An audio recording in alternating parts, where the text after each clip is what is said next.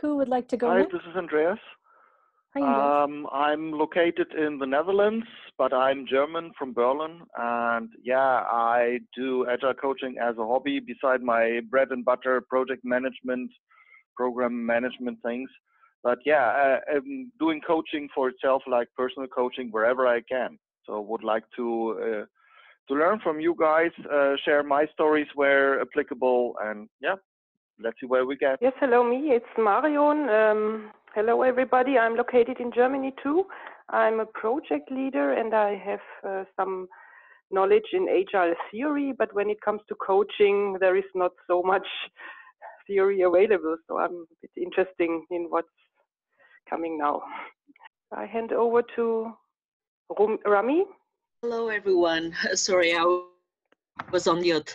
Um, I am uh, located in uh, Toronto, uh, so calling from over the the sea, and I have to be able to coach the team from time to time when uh, that is required. So I'm constantly looking into expanding my knowledge in that area, and um, uh, looking forward to learn new things and hear all the shared stories. So thank you very much for having me. And I guess uh, Sasha, I'm not sure if uh, Sasha introduced. An agile coach and Scrum Master in Frankfurt, Germany, and I. I'm just participating to. I will move on to, let's say, Heike. Hey, thank you. Um, good evening, everybody, wherever you are. This is Heike, also calling from Frankfurt. Hi, Sasha.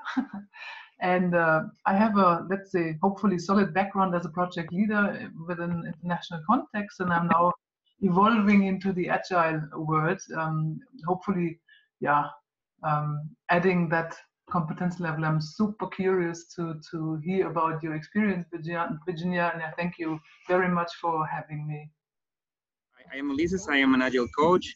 Now I recently uh, certified in the continuous continuous uh, education ICF uh, coaching. So I need to uh, practice uh, hours to become a ICF coach.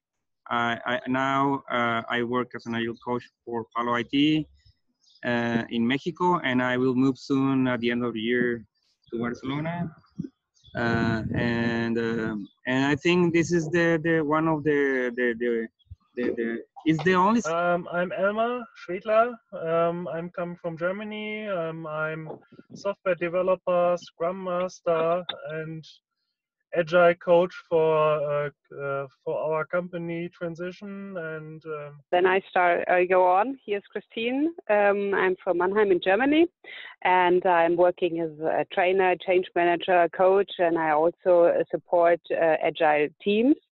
And i'm very interested in um, agile mindset coachings and develop teams to to have the right mindset to do the work in an agile um, surrounding. Uh, so I'm I'm very glad to be here tonight. It's Elsa from Berlin um, too. Many people from Berlin. Happy to be here, and um, I mainly work as a um, creative trainer and facilitator.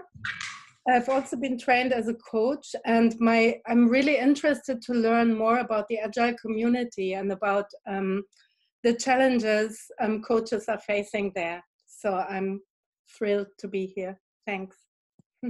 Let's say as an agile coach in the last years, in a time uh, when nobody knows uh, what it is. Uh, so uh, because the, main, the uh, most of the time I was fighting with the with uh, my colleagues in, in the R&D department. I was also responsible for sales and product management and IT people should develop what I need. Then I worked for a Swedish company uh, developing software too. I was in the same situation that I need to sell uh, uh, the, the products they created. And, um, and this in, um, in the area of intellectual property. Mm. And uh, there I learned um, that there is no change, nothing, and I burned down. So now I start uh, to make um, education and business coaching in, in the field of um, change um, change management consultant and so on. And uh, in parallel, I start to understand more about agile project management. And so I think it is very interesting uh, to attend this meeting to hear the opinion from other. Great. And I'm guessing. I'm in, uh, I'm in, in Germany, sorry. I'm based near Heidelberg. Great. Thank you. And um, Pierre, you, you have someone behind you. Indeed, ma'am. Come on, come on. Hello, this is Klaus. I'm uh, uh, living, I'm living in Heidelberg. I'm a project manager, uh, more or less a project rescue person. And um, I have a little bit of coaching experience, but I would like to learn a bit more about it. Thanks. Welcome. Hello, um, this is Abraham from Mexico. Well, being very specific from Monterrey and uh, I'm um, working in Latin America and not limited to IT, but I mean my major experience is in IT, but not limited to that. And uh, I'm a um, lean agile coach. Right now, I mean fostering a little bit more two principles: evolutionary change management and service delivery for for enterprise companies. So that's me, and thanks for inviting me. And um, I just want to learn uh, and, and, be part of the community. I'm Patrick. I'm from Frankfurt uh, or based near Frankfurt. Um, I'm a product owner uh, since 2013, um, working in an agile way. Experienced an, a tr- one transition, and still, or right now I'm in an enterprise context. So um, yeah, that's that's my background, and I'm keen to learn a little bit more about coaching. German, uh, living actually in Heidelberg, but working internationally. So I'm doing agile transformation, our change, organization development using agile techniques since over 10 years. And before that, I was lean coach or systemic coach. And I I developed a program uh, base, it's called Agile Coaching Program. And I work with you, Virginia, to get the input and to understand what is uh, uh, coaching, also person life coaching. So I'm, I'm, also one of your students, and you are also one of mine. That's cool. This what I what I love to do, and I think there's a lot of things you can share to the community, because these are typically the question we're always facing. That people say, "Oh, agile coaching is not coaching. What are you doing?" People, you're not really doing agile coaching, or whatever. And and I think this is a sharing platform. So I'm very happy to having you all here and all the newcomers. Welcome in the family and be free here to talk on whatever you want. It's a conversation, it's very open conversation. That's it. I'm Pierre. That's the only thing. Going to uh, now going to have a presentation, but we're also going to do interactive exercises. Am I and why am I here? Well, um, so again, my name is Virginia Anderson. I'm originally from the States, which I think you could probably hear from my accent. However, I live in Luxembourg. So I'm, I'm American and Luxembourgish. And I've been over here for a long time, quite a long time. And um, I came because I, I play basketball professionally. So when it comes to coaching, I've always had an exposure to the side when I was very young, and also working in the financial sector and moving into human resources. So I had a lot of experience dealing with coaches. And there was a point where I thought, well, I need to find out what is this coaching? Because I had a colleague who transformed over the weekend from being a grumpy, miserable person.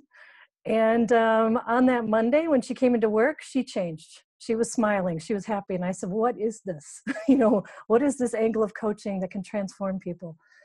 So i myself have um, i i was trained as a and got certified by a company called cti coactive coaching which is um, they're originally out of the states.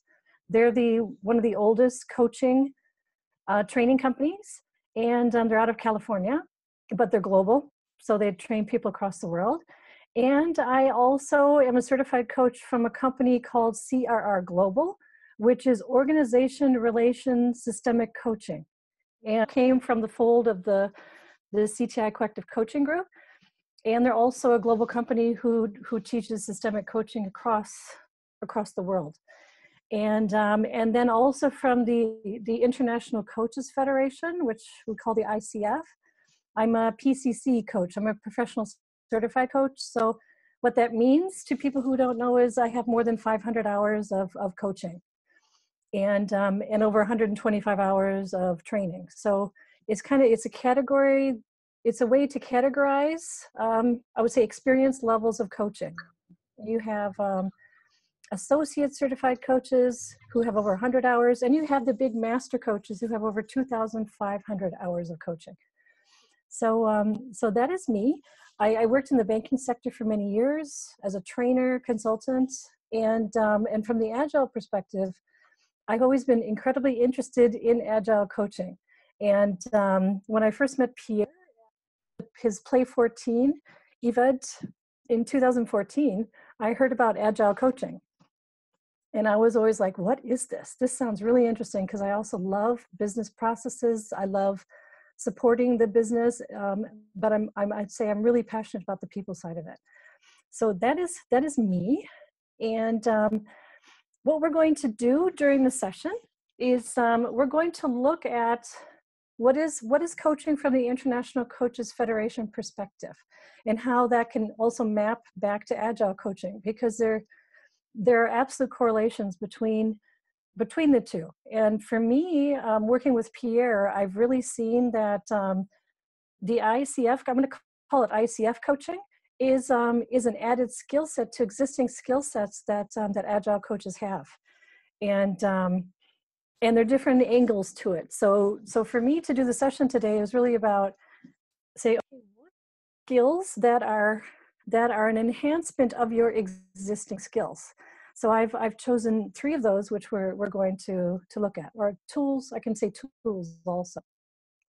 Okay, and um, also uh, I said that um, I, was, I was certified by a company, CRR Global, and the, there'll be a lot of references to, to the book Creating Intelligent Teams, which was written by Anne Rød and Marita Fridjhon, who um, Marita is the founder of the um, of the organizational relationship systems coaching.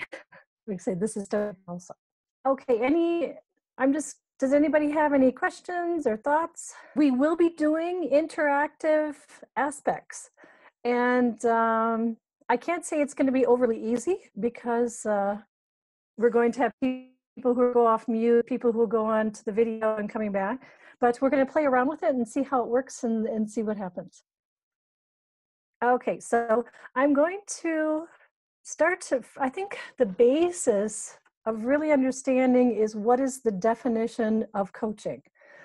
I mean, we have so many different types of coachings that are out there. You have your agile coaching, you have the sport coaching, you have personal development coaching, career coaching, you have executive coaching, you have systemic coaching, you have so many, many different things called, called coaching. But um, the nice thing is um, the International Coaches Federation as an international organization has created an actual definition. So it says the ICF defines coaching as a partner clients in the thought-provoking creative process that inspires them to maximize their personal and prof professional potential. So it's really about partnering with the person. So we say coaching is not telling a person what to do. And I think there's a lot of times um, there is a misunderstanding out in the world that um, that a person says, "Oh, come coach me," and they want to be told. So uh, in a way, it's moving more towards the mentoring side. So co the coaching definition is about partnering with and supporting the client in finding their own way forward. It's not about it, it's not about telling the person at all, and it's about walking with them on their path. And, um, and within the ICF coaching, it's also important to be able to really define what is the difference between psychology, psychology consultancy, and being a coach.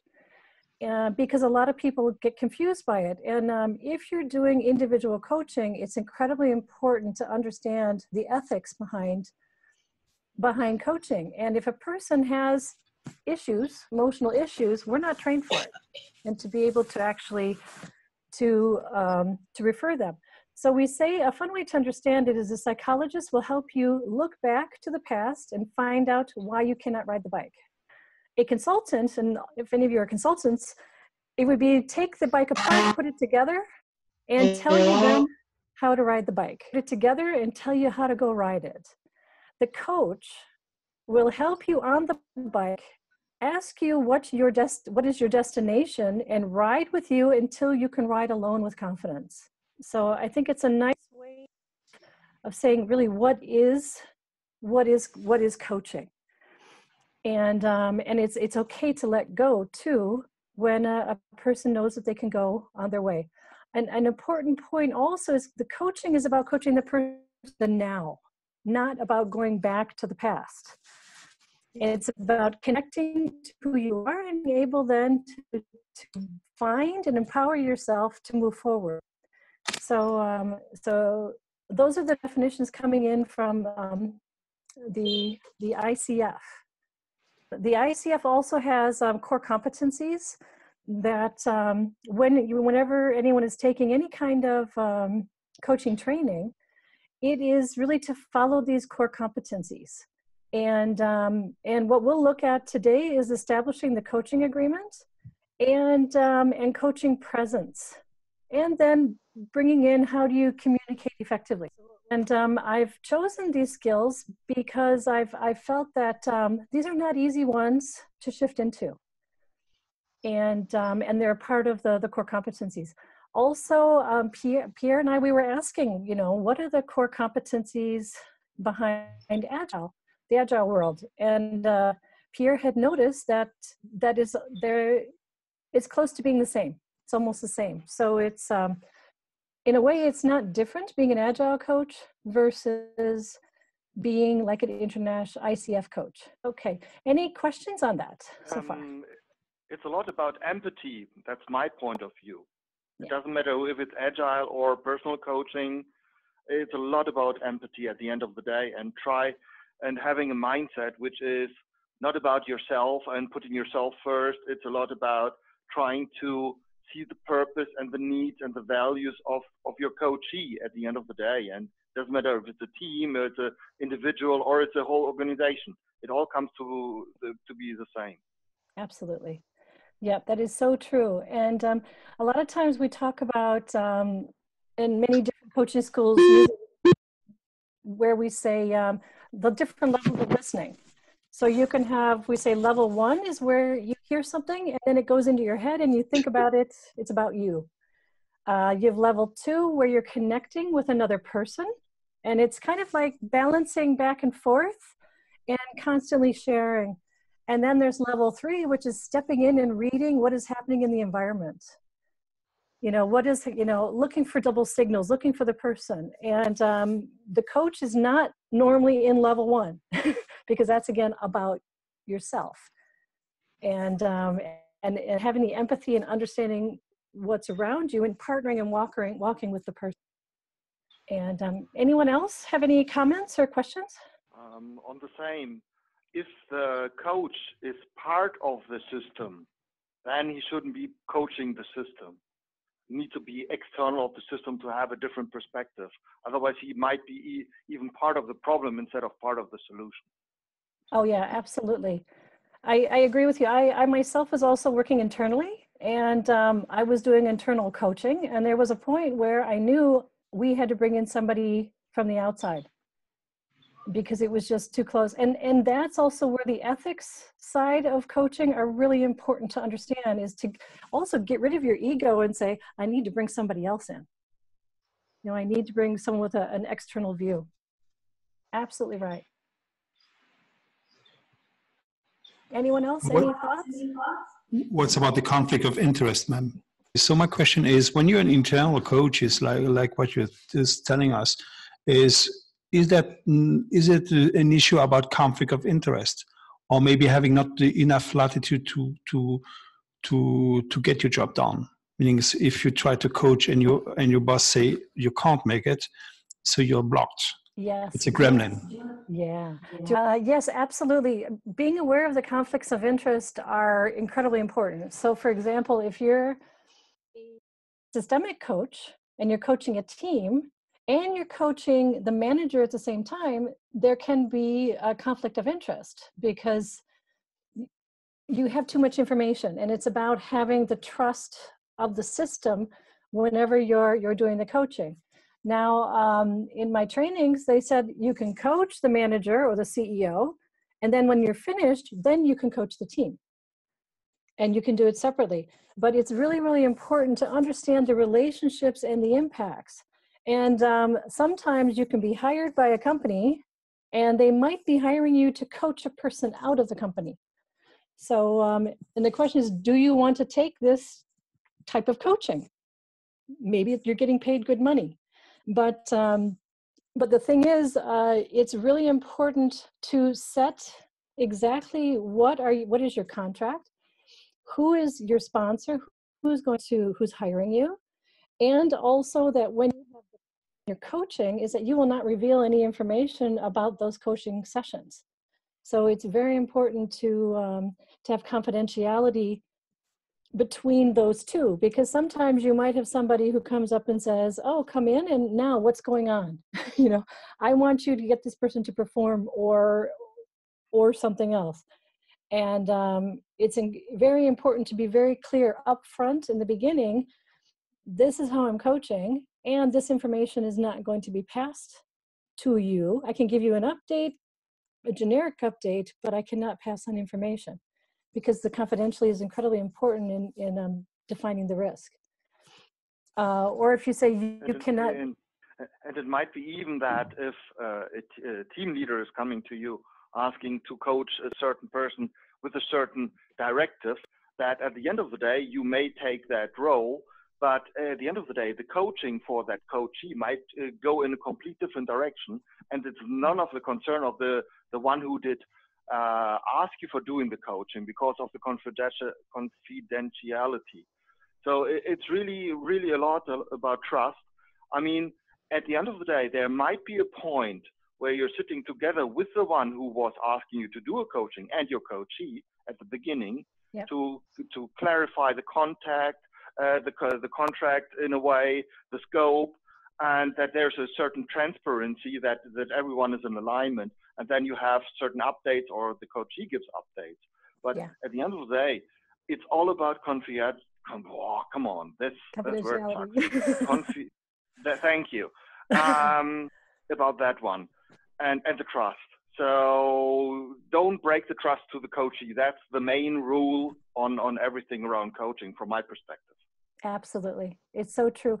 Also, let's say you have a referral, or or someone has referred you and or there's referrals going in between also being very transparent that um, somebody might be getting commission for referring you or vice versa because it's really important to know that um, who is being referred is somebody who can do the job and it's not just for money if that makes sense. So there, there's a lot of um, complicated relationships that can pop up and it's um, it's really important to set the groundwork in the beginning and and to put them into your your contracts and into your coaching agreements. Uh, otherwise later down the road you could have issues. So for example you might be coaching somebody in a company and they say that oh well i plan on stealing some money so something very unethical is happening and could be breaking the law so we are, as coaches are obligated to um, to report so it's also very important to say upfront in your in your agreement, if there's something happening here, you know, uh, this is just from an ethical perspective. I would I would be obligated to report it. So it's it's quite important to have this very very clear and upfront. Okay. Any other points or questions? maybe just a question. So we talked a lot about um, responsibilities and the the roles. So um, might be the case that this is something which uh, which you also bring up, but is there some illustration about this, like like a power interest matrix or something like this? It can be that would I would say would be a part of designing what you're going to be coaching the, the group on. So if you're doing a, a group coaching, so for example, what type of roles that they might have, roles, internal roles, and um, and defining that within within the group. But also, it's important to know exactly who is your sponsor, who's the coachee, and you're the person who's doing the coaching. So so there's there's the individual side, and then there's also the the team systemic side. So I'm going to move on, and um, what I'm going to focus, I would say, on the skills from a systemic coaching perspective. So, um, and you say, what is systemic coaching? And um, it's really looking at the the team, the group as a system. So um, I have a definition here, and it's the basic principle of relationship systems intelligence is the redirection of focus from the individuals within the system to the whole system as an entity itself. And this shift in focus enables leaders, teams, organizations to move beyond personal concerns, petty conflict, to a positive and generative group identity. The strength of the team's identity provides resilience and the resources necessary to navigate the constantly changing challenges challenges organizations face. So um, it's it's looking at whatever group that is in front of you is coaching the system as a whole and not as separate individuals.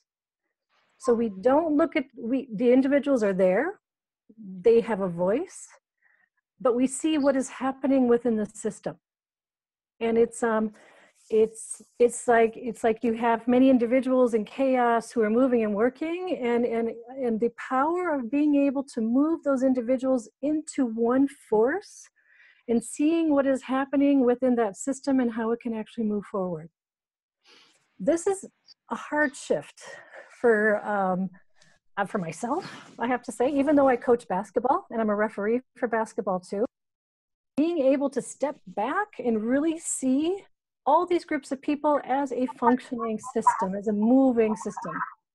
So you could say a school of fish, you know, how they can move and how they can float and how they can how they, they change and adapt. Or watching a flock of birds be able to move and change and seeing what is happening within this entity. Because if you think about it systems are incredibly powerful and it's um, how you can work with those those systems okay and um, and the objective you have an objective, but you let go to see what is best for the system. So, as a systemic coach, what we are doing is we have an objective that we want to work on. We have different tools, but the thing is to absolutely let go and allow the system to go in the direction that it wants to go in, which is a hard thing to do. Especially if you, if you like to make sure, oh, we have to achieve this. It's about allowing the system to function and to work. Uh, I'll, I'll, give you an example. Um, we were, I was, I was in a team, so I was within the team, and we had um, systemic coach, and um, they said, okay, we're we're in a certain program. We did a constellation. We drew what that what that um, what the system looked like and all the interrelationships and what was happening now, and that worked fine. We put it on the wall. Everybody saw all the different views. And then um, she said okay now let's draw the same constellation but what would the future look like you know with this group? And um, it was amazing how people didn't want to do it. Fear popped up there was just there was just so much going on. People were blocking. And um, and as a systemic coach she read the system where the system said no we cannot do it right. So what she did was she said fine. She stopped. She said we won't go further with this specific place where we were in in, um, in the course. And um, and she said we'll check it out tomorrow morning and see what happens and recheck into the the group so she had the courage to hear the system say no. And, um, And that evening, people talked, things happened, and um, and it was quite quite interesting to watch because that next morning we were actually able to move forward. So the system was able to fix whatever it was and be able to move forward. So it's having the courage to let go and hear and see what is happening within the system. System, I mean team or group or relationship. Okay, any questions about that? Referring to the system always being a whole team or a group. Yes. Uh, would you say that an individual as being part of a system also could be the focus of the coaching? Uh, they can be because they might be an important voice that needs to be spoken within the system. You know, okay. so you might. And how do does that transfer into the system? Yes, yes, it does. So, for example, uh, you might have a quiet person who never speaks. And it's about seeing the system, which we'll, we'll go into the skill around this. Seeing the system, you have a large group on one side talking, talking, talking all the time. But then being able to see the view of the person who doesn't, who's quiet, who's not saying anything, and allowing them and supporting them, being like a mattress for them to be able to speak what needs to be said from their perspective and being heard and helping them be heard. It's, um, it's really important because then the system, they're part of the system. And if they're not being heard, then the system technically can't be as strong or maybe it can't move forward. I, I have a question, Virginia. I don't know if you can hear hear me. Yeah. Mm -hmm. Okay. Uh, I changed my earphones. Uh, we, as a coach, we, we, we just just tell let me know if I am wrong. But when we are coaching in one one, uh, we yes we, we we say that the the all the the knowledge is is inside the being, it's inside the people. So yes. so you don't mentor him. You just ask questions to to understand uh, to to help them Uh, uh, uh, get the answer by themselves. It, when when we are talking about coaching a system in a, but but when you're talking with, with, with a with a company which is something really big, how you can coach a system without without saying them what to do because you, you because you as a coach of the system uh, you you you just uh, they they need to understand uh, like other other software of, of the system like other things but but it's it's it's not it's I, I see it I I can see how, how it, it, there are a lot of differences between between when you're coaching a team that when you're coaching a company of thousands of people. So what what do you do without uh, what, what what is your perspective here in, in the coaching uh, as an agile coach when uh, in, and and not mentoring them so much or I don't know how if I I um, I explain myself correctly. No, I understand. Uh-huh. Yeah. Um, so, for example, individual coaching, you'll ask person to work on. You know, what are in in in what time frame, and as you coach them, not only asking questions, you're reading all different aspects, and you're letting that person move in the, the direction they choose. Of course, you have an idea of what they first asked that they want to to um, to work on, what their goals are. And but if they don't want to go in that direction they don't have to. Um, and when it so the difference in systemic coaching is where you will be hired by a company and they will say oh, let's say um, i'm just going to use an example. Uh, we have a one day workshop. We need to work on communication skills and getting a department that has three sub departments to communicate better and work together. So so you have an objective that you you need to work on. You need to help them communicate better. And um, so you create different tools different aspects that allows the system to move forward. So for example so it's yeah you have your agenda you could say and we're going to work on these different aspects. But if there's a point in the system where for some reason the system says i cannot communicate with this team it doesn't work. It's never going to work. They start blaming. They start doing all these things. Then i would hear the system and i would maybe grab another tool and say let's work on we have potential toxins popping up for example. So we have to be agile. we have to be flexible. And I'm talking from a systemic perspective, a pure systemic perspective. Okay? Because um, because I know from the agile perspective, you also have a process or you have a way of the company has big objectives that need to be achieved and there there might be consultancy directive aspects that that come into it but um systemic pure systemic side it is yes i have to my goal is to improve communication and i'm using these tools to allow the system to find its voice to to communicate better i'm not going to tell them you have to communicate better because it can be rejected. That makes okay. sense. Uh, yeah. One one other question. What what if the system wants to go in a wrong direction, uh, and you as an agile coach, or you're as a coach or systemic coach, you know that this direction is wrong. You you let them fail in that direction, even if you know by your experience that this is wrong. Uh, I would. Would I say let them fail? I would. Um, I would highlight different voices different perspectives. If it, you know, if a team says no, I don't want to do this, well, there's some sort of voice there. But then, is it realistic or is it toxic behavior? Is it something else? So it's it's to find and, out what is. Um, that's where. You, yeah, go ahead. And that's where you can put in your own perspective, and and putting an intervention in a way like, I had the experience, I had the experience somewhere else you know, give them uh, an anchor to to think about of the other perspective, to make a connection to their own situation, yeah. and then give them at least a chance of a way out while it's being still an offer and not a they being told to.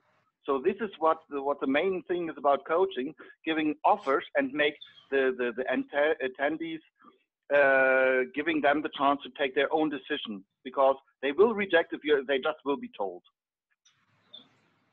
And then then then they're not going to be motivated. Then they're not going to be engaged and you can see the energy dropping. It, it's amazing when when you can get a group to see um, to a decision or a strategy how how the energy just changes. It's amazing. And, yeah and, and and sometimes i have to say sometimes failing is also an option. Is maybe they have to experience experiment uh, failure, which is okay, I think. Yeah, and then then also the word failure can be very interesting from a cultural perspective, and to be aware of that. So, for example, French culture, failure is is a no go, but people need to learn to fail.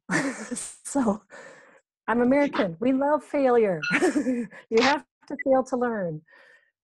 I'm a sport person. If I can't fail, then I will never be the best I can be. So also cultural perspectives have to be, be you have to be aware of the cultural perspectives also within the system. I, I would like to say here, but but there's there's a lot of but of course, but there's one but when when when a company uh, uh, is paying you as a coach, they, they don't want you to fail.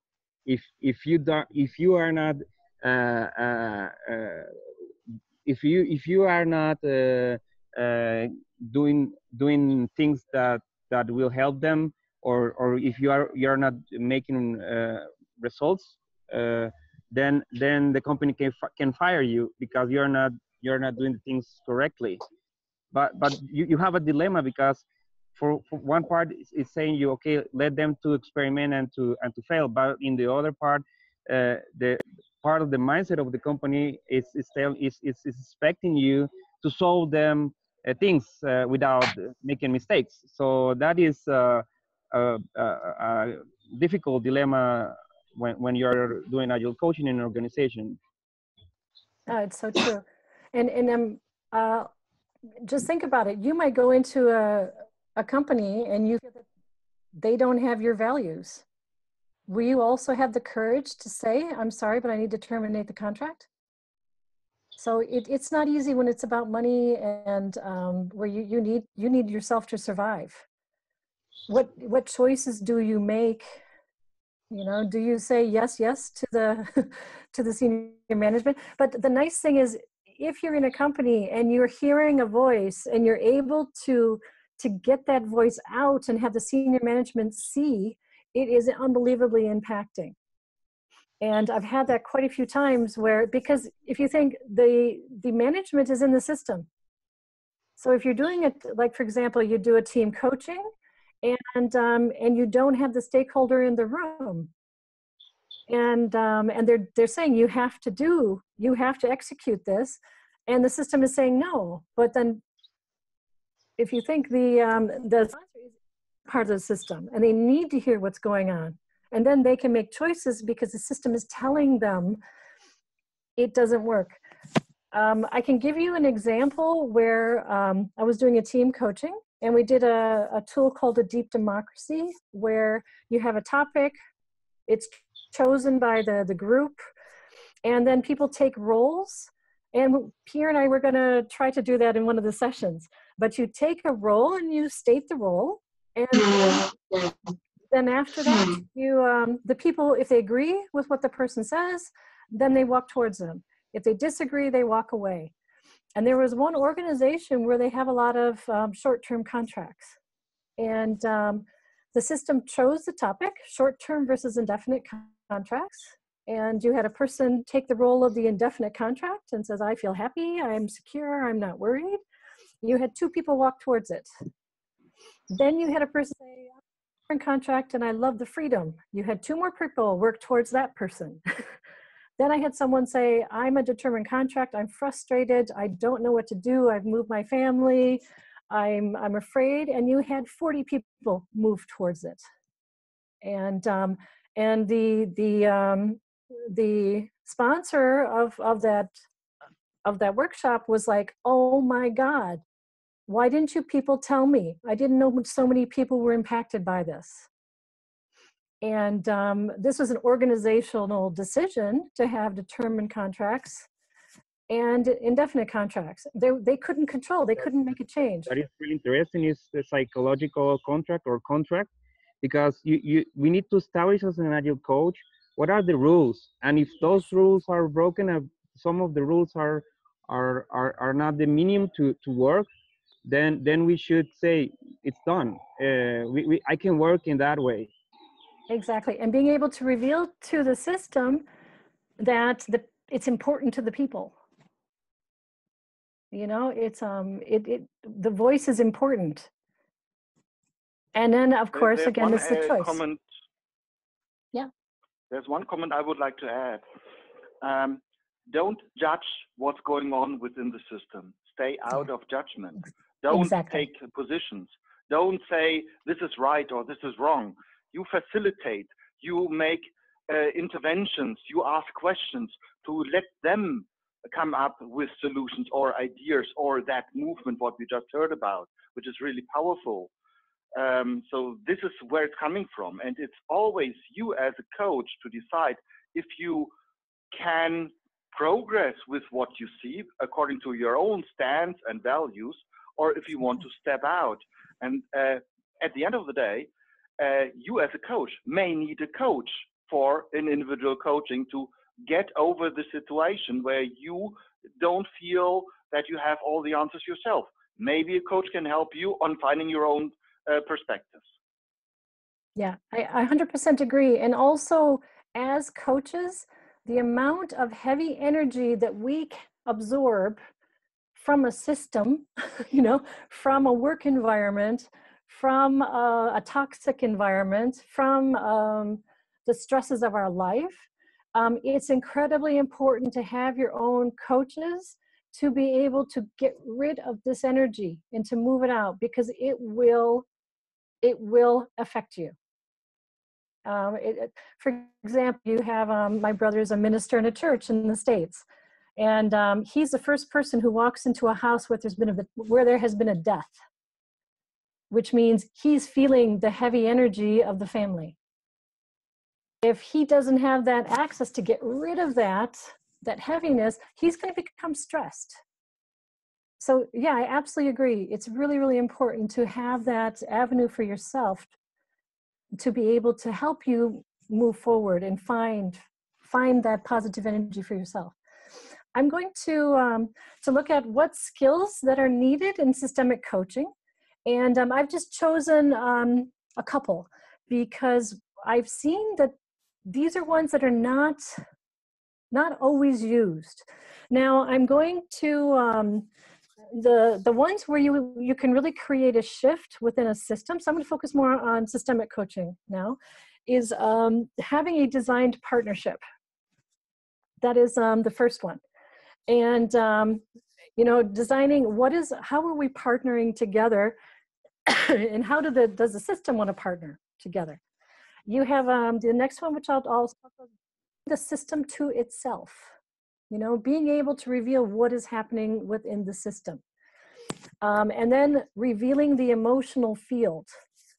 So like you said, we're not telling the system what to do, we're revealing what's happening in the energy and the emotional field. And, and what we're doing is we're giving information to the system to be able to move forward or to move in a direction it wants to move. So um, the first one to talk about is the designing, designing a partnership. So creating the partnership contract at the beginning of any project, of any workshop, and, um, and the questions that you're asking is, to the people, what atmosphere do you want to create in the team? So you're asking the group, what atmosphere do you guys all want to have? You know, um, how do we want to be during the workshop? You know, do we want to be happy? Do we want to challenge each other? What, what do we want? What's important for the team?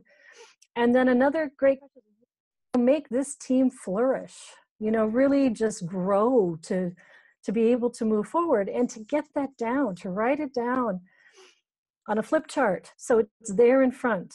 And um, and to ask the team do you agree? You know to get agreement. And then a, a major question is um, how do you want to be together when things get difficult? You know you know and you can refer back to the points that, that from above. You know what do we need to do? Oh we need to be transparent it's okay to question. It's okay to fail, for example. And, um, and again, you write that down on a flip chart and you have it as a design partnership. Then you move to what are your expectations from me as the coach or facilitator? How would you like me to be with you? What are your expectations? And then you write that down also. They may say, challenge us. I want you to um, to be tough you know? I want you to be a listener. So so again we write it down and then after we say do you agree? Does everybody agree with this? And we get all, we get full agreement and it's something that you can always go back to in case you have difficulties. And it is a working document. You can do it from one day to the next. You can always adapt it. You can change it. If you have new persons coming into the system it's something you can always always rework. And um, so what I like to see, because a lot I've I've um, I've seen a lot of people who think a design partnership is defining objectives and purpose. No, it's not that. It's not explaining the agenda. It's not telling what is the process for the day, the typical things we're used to. It's about how the system would like to be and act together. It, at times it will tap into the values of the system. So it's, you know, it's a design partnership. This is how we want to be and how we want to work and act together. And these are the, the aspects that are important for this group. And um, what, so again, you have a lot of really great benefits from it. The, the coach facility, they can revisit and go back to the agreement if, if times get tough. Guys, you told me to challenge you. I'm going to do it now. you know, and um, okay, also when there might be difficult aspects or things that are happening, you can always refer back. You know, we said we would be open and not closed. You know, I'm seeing everybody closing down. You guys agreed to this. Um, also, it allows for people's voices to be heard and not dictated to. Yeah, it's like this is how we want to work. This is what's important to us as a system. It's not, I am going to to do this I'm going to as a coach or facilitator. So it's it's very it's um it's really really powerful. Okay. Any questions about what that is? Have any of you used design partnership? In, in individual coaching, you do a designed alliance, like how do we want to work together? But have any of you guys um, used a design partnership? I hear nothing. I did, ma'am. Yay. Pierre and I had a lot of fun discussing it when we were looking, and it's um it's it's incredibly important to use. So um we're we're So, going to uh, Virginia, sorry, uh, this is Rumi. Uh, I have a quick question. I, I believe that I'm a little bit confused, uh, um, and um, the reason for my confusion is that when we're doing coaching, we're coaching the person, not the problem, right? Uh, and uh, with your example of when you said that you've been hired by the manager to uh, get understanding on the problem or how they feel, right? So there is a purpose and there is a problem. So you're facilitating and not coaching the team. So it's so this exercise that happened, the constellation exercise that you've done uh, with the team, is a pure example of facilitation, not coaching, right? no, it's co- no, it's Um, coaching. It's coaching. It's not but- facilitation.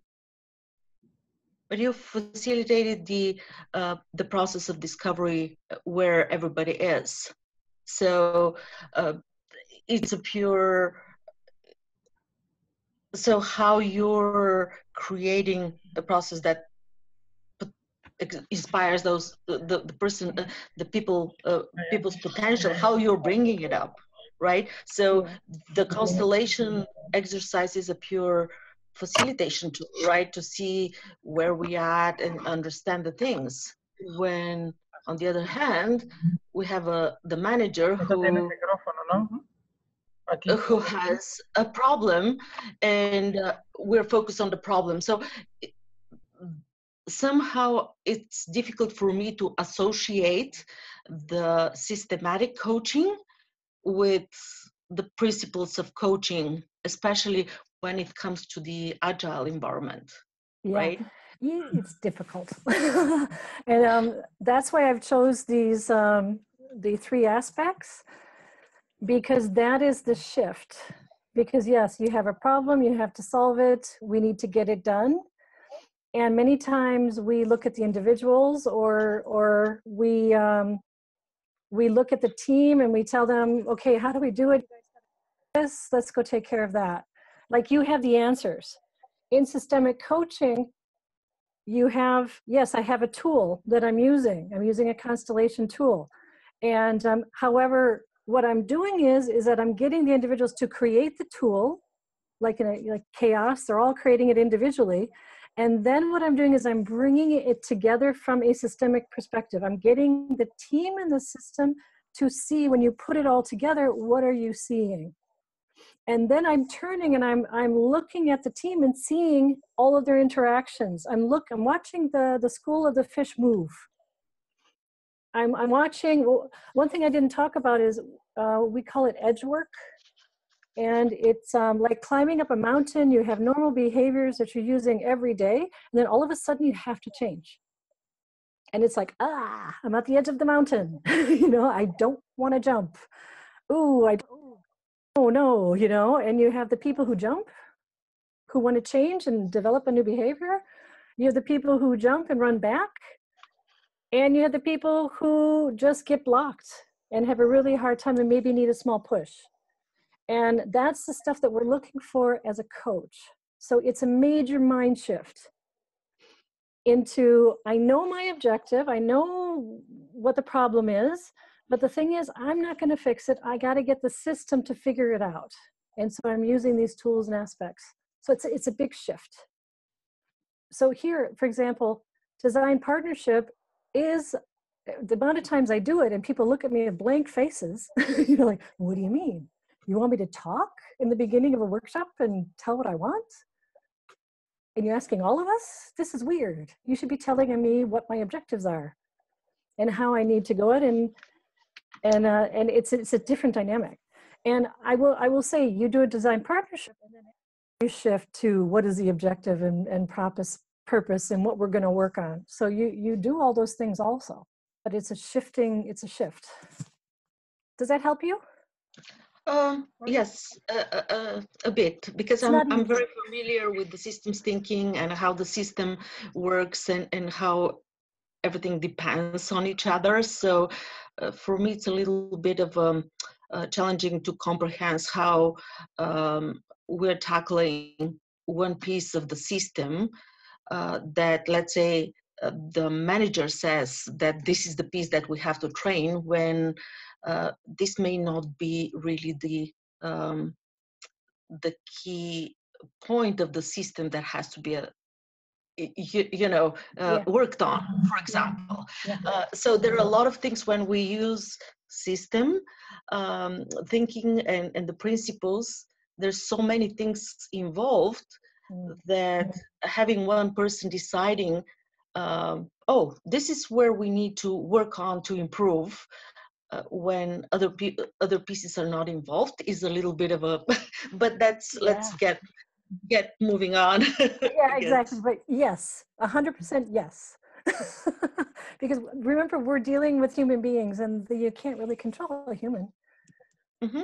You know, so it's yes, absolutely. And the thing is, you probably have a lot of wisdom because you're seeing things from a different perspective. And the- and the, the question is, does that manager who's telling you what you have to do see also all of the perspectives? Mhm. And the question is, how do you how do you bring that about? Okay, so um, what I'm I'm going to do is um, I'm going to try with all of you to do a designed partnership. You know, for for uh, the rest of the meetups, praxis meetup sessions, and um, and I'm going to ask you the simple questions, and I'm going to see out, see what all of you like to do, and the skills that we have as a coach would be questioning skills, listening skills, maybe negotiation skills, facilitation skills, using your intuition, and also we say meta skills and meta view to see what is what is happening. So I'm Pierre. Do you think I should we should write it down? Absolutely. Would you like to write it? Yeah. In the Do you want to write it down? Are you good at writing? Hello? Pierre, how much time do we have? Uh, as long as much you want, but until eight. okay. okay. So we'll, we'll go through this. I'm curious for all of you, link to the Agile Praxis, these meta, these um, meetups. How would you guys all like to, to be? How would you like to work together from a group perspective?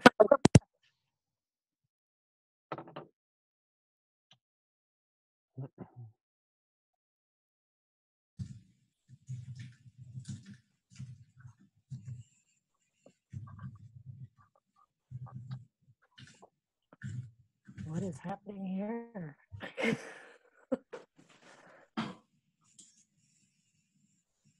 That's a very good uh, uh, argument. Sorry, my battery is empty. Sorry, I have to leave. So now people are leaving. Yes, I got you. I got you. Because it's now time to work. You're leaving. Okay. So you can take your, your stuff off mute if you're listening. Yes. How would you guys like to, yeah? What, or let me ask you first, what atmosphere do you want to create within this system? Because we are a system that is functioning. Happy environment. The environment. Yeah. Thank you. An emotional environment where emotions can take place. Okay. An emotional environment they can take place. Yeah. Yeah. Humans are complex beings. Yes. uh, yeah. I'm actually writing this because I don't know if happy, be happy. Diversity of thoughts. Passion. Passion.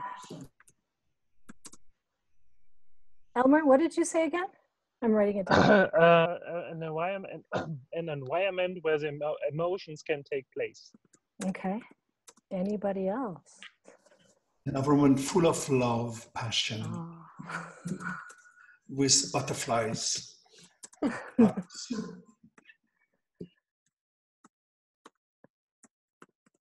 A war zone. War zone, okay. you mean a war zone of discussion? Yeah, to be honest, it's uh, like an agile system. This is also uh, has another name. It's called a kindergarten. Uh, the kindergarten with a strong boss, as typical in Germany. Yeah, because the boss is not considered himself to be part of the system. But he That's is. the point.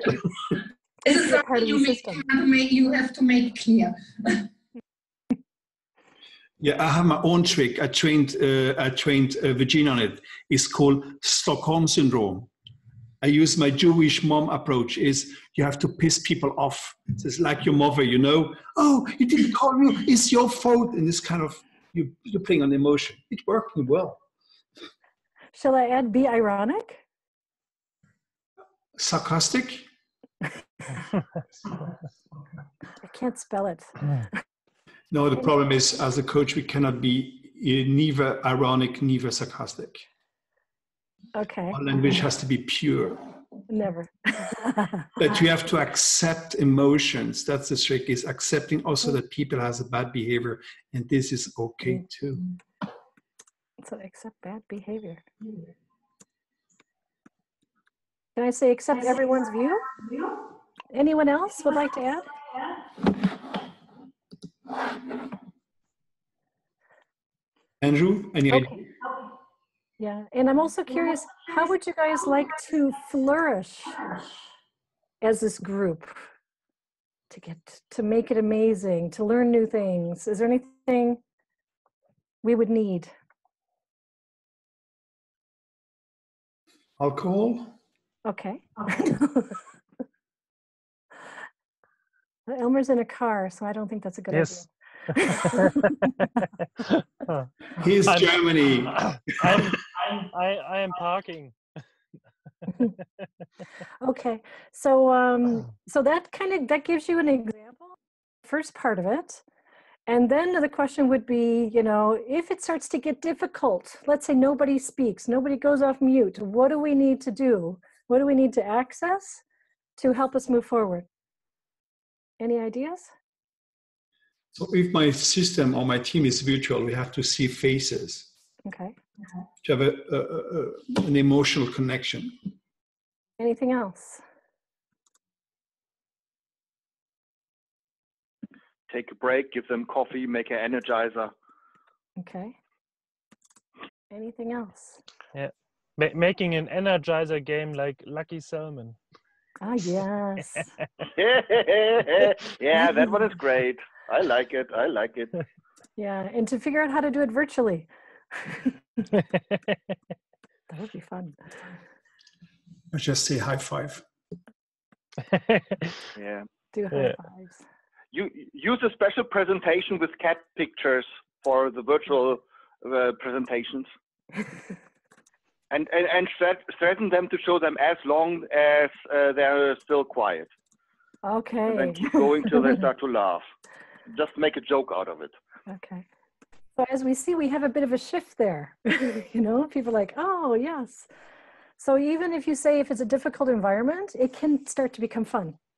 So it can show show the shift. And what do you expect from Pierre? Not from me.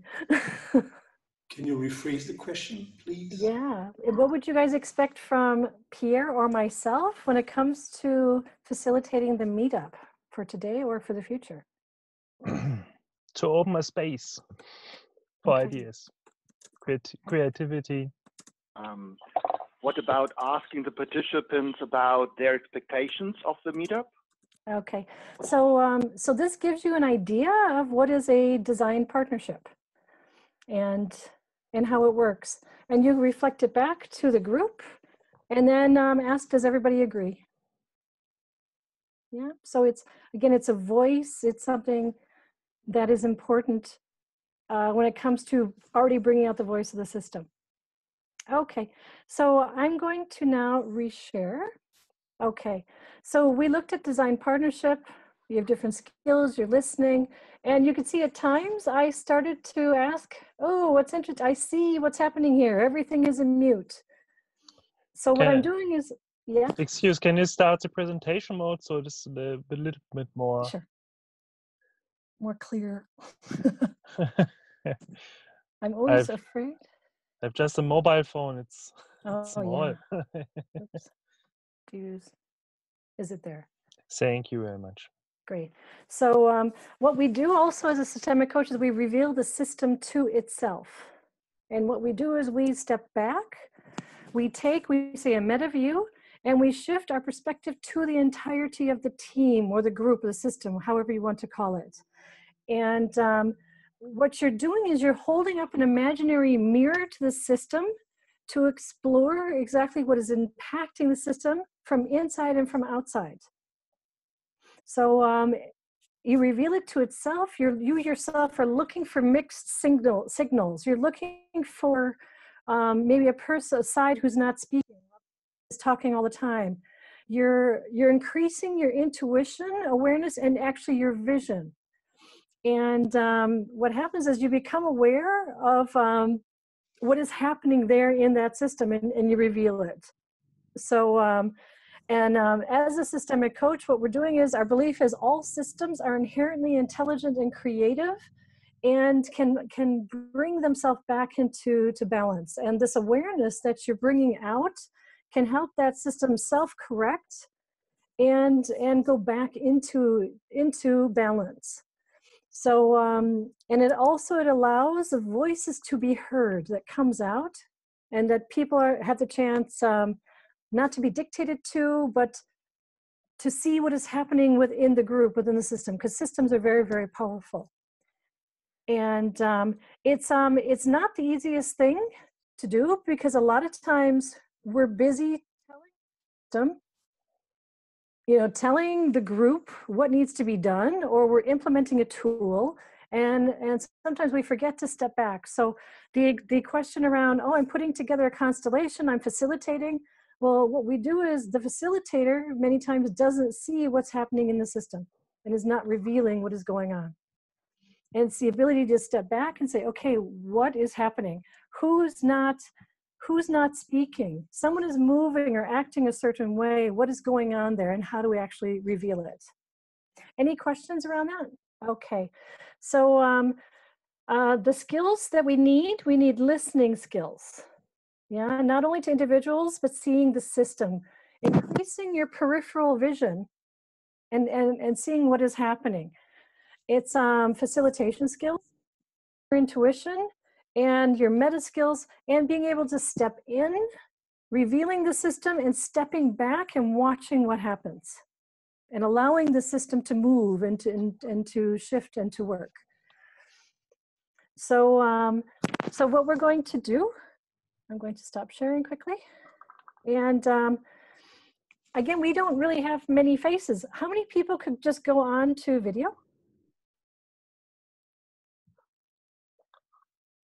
Yeah. And um, so if I ask you a couple questions, is, um, and what I like to do is um, the question is going to be a simple one. And if you agree to it, I'd like you to put your hand up in front of, of the screen. And if you don't agree to it, not to do it. Just and sit there. And um, what I would like all of you to do is to kind of don't look at the individuals, but look at what is happening from the system. Yeah, from the group. So, how many of you like the meetup today?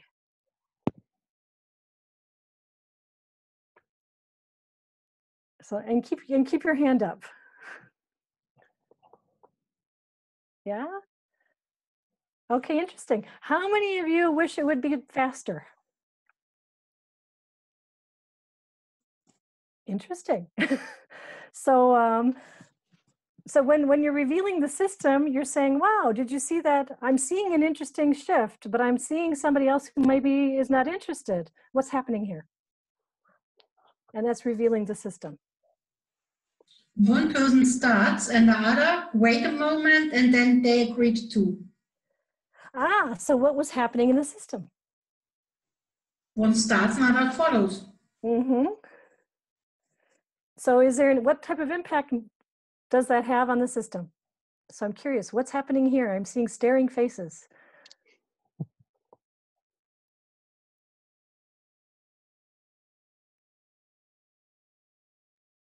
Again, everybody's on mute, you know?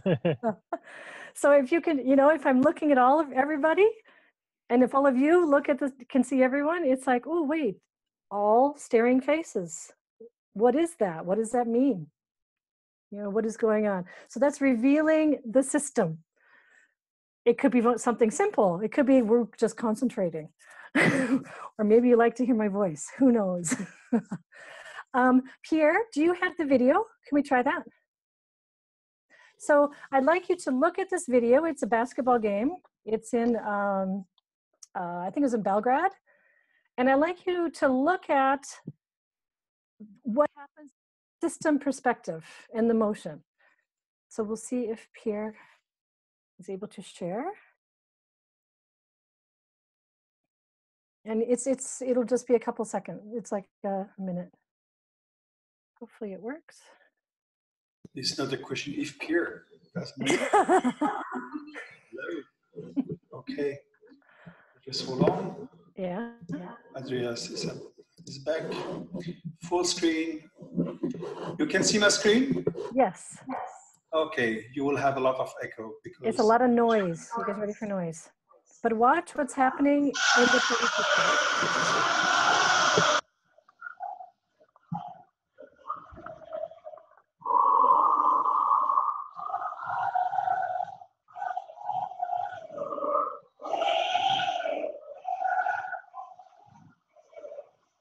as you see, there's a couple thousand people of individuals.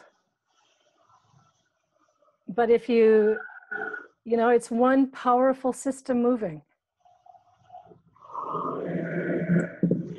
And it, this is the perspective that we want to see when we're looking from a, from a systemic perspective and starting to reveal what is really going on here in this system. You know, what, what is, what, what power is coming up also? What energy? What energy? Well, the emotion over and people, uh, they uh, celebrate, obviously, uh, uh, game and uh, this puts a lot of energy in synchronizing all people doing the same thing. Exactly. And this is um, the systemic perspective that we're looking at. And if I, I'm going to reshare. And not only are we looking at it from revealing what's happening in the system, but what we're also doing is we're looking at what is the emotional field. You know, what is the energy? Because every single system has an energy.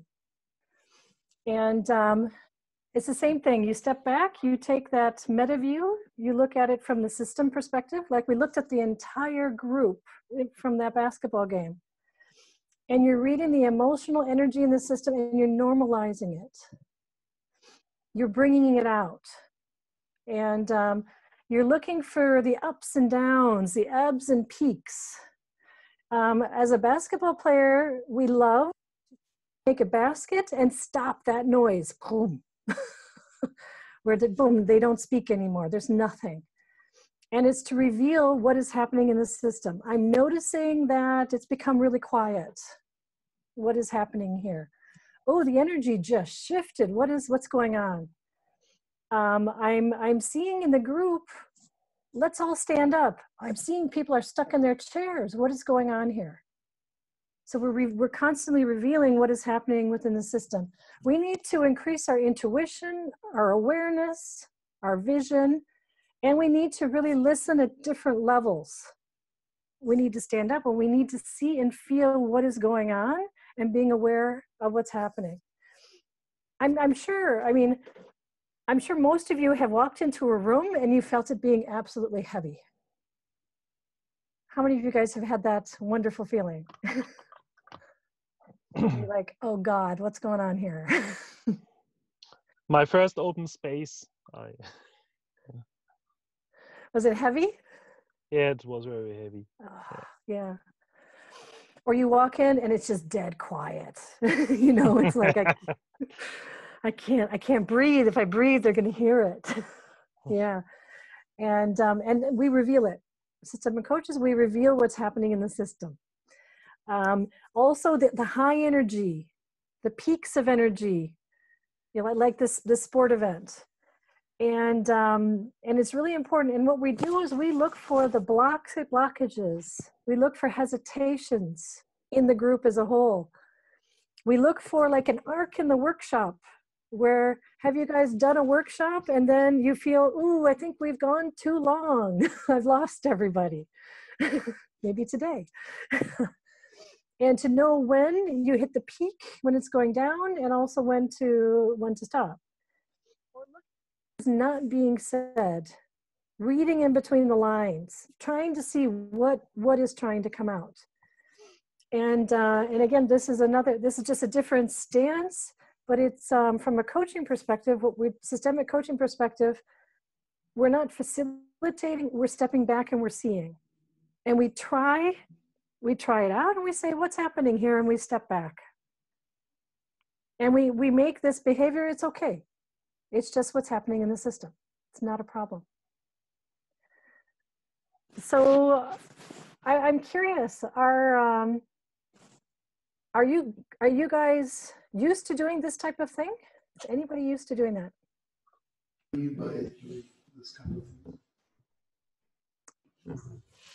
Um, he's asking, what do you mean by doing this kind of things? Oh, okay. So um, you walk into the room and, um, and the group is working, but then you see, boom, the emotion drops. Do you just see it and say nothing, or do you see it and say, "Wow, the emotion just dropped"? What happened here? Well, usually I don't interfere uh, because I want to uh, manipulate uh, the dynamics. Okay. And, and being a systemic coach is not manipulating the dynamics, it's just revealing the system to itself. Sorry, revealing? It's revealing the system to itself, and then the system sees what's happening Mhm. and takes it in or doesn't take it in. I have a problem with the word uh, system because when you speak about person, and uh, really I would say it's a group where system I usually uh, use it for uh, for group, uh, not a group, but for elements which are not living. Yeah, you can, I would say, trying to find whatever terminology works the best. Mm-hmm. People might say relationship, they might say system, they might say group, they might mm-hmm. say team. Yeah. I would okay, say what works best.